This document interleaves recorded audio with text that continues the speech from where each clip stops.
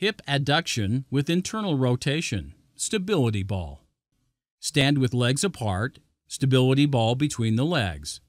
Press the ball inward from both sides and release. The target muscles are the hip adductors and internal rotators colored red. The hip adductor muscle group plays an important role in both movement and stability of the hip joint in many athletic pursuits. In addition, hip internal rotation is very important in sport and performance training. The action in the hip joint is adduction with internal rotation. The adductors not only adduct the hip, but also internally rotate the hip joint. The anterior fibers of the gluteus minimus and medius internally rotate the hip.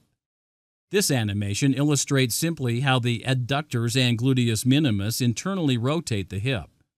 The connecting point of the muscles to the anterior part of the pelvis enables them to draw the pelvic bones slightly forward and thus rotated internally.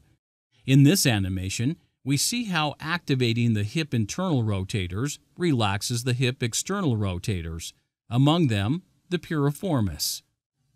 Strengthening the hip internal rotators can alleviate situations of high nervous tonus in hip external rotators.